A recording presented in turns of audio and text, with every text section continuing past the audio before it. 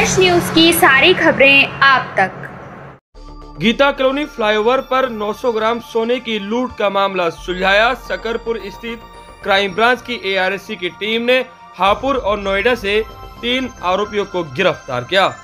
Crime branch के special CP Ravinder Singh Yadav ने सोमवार की दोपहर तीन बजे मीडिया को प्रेस रिलीज़ जारी करके बताया कि एक नोएडा और दो हापुड़ से लुटेरों को गिरफ़्तार किया है, जिन्होंने दिसंबर के पहली तारीख को गीता कॉलोनी थाना क्षेत्र के गीता कॉलोनी फ्लाईओवर पर एक कार का शीशा तोड़कर 900 ग्राम सोना निकाल लिया था, जिसकी कीमत 50 लाख रुपए की थी, जब शिकायतकर्ता अपनी दुकान बंद करके चांदनी चौक से अपने घर प्रीत बिहार जा रहा था। जब वह गीता कॉलोनी फ्लाईओवर पर पहुँचा, तभी छह लोगों ने कार के शीशा तोड़ दिए थे और सोना लूट लिया था और वहाँ से आरोपी फरार हो गए थे, जिसके बाद गीता कॉलोनी थाने ने मामला दर्ज किया था और इसका एक जिम्मा सकरपुर स्थित क्राइम ब्रांच एआरसी की टीम को सौंपा था।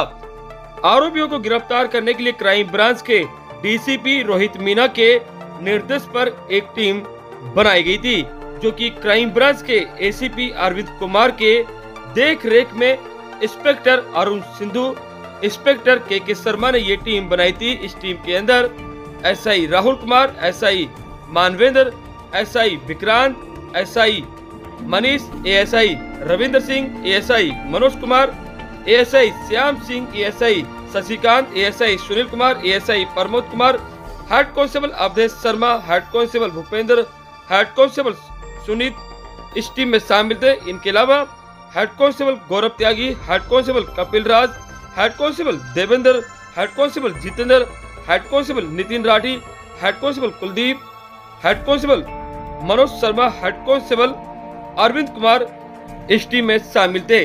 पुलिस टीम ने तमाम सीसीटीवी फुटेज चेक किए और अपने गुप्त स्रोतों को भी तैनात किया और आखिरकार तीन आरोपियों को गिरफ़्तार किया, एक को नोएडा से और दो आरोपियों को हापुड़ से। आरोपियों के नाम फाजिल और सलमान, जिसकी उम्र 26 वर्ष दूसरा अरुण कुमार जिसकी उम्र 23 वर्ष, तीसरा बच्चन तोमर जिसकी उम्र 23 वर्ष, इन तीनों को गिरफ़्तार किया।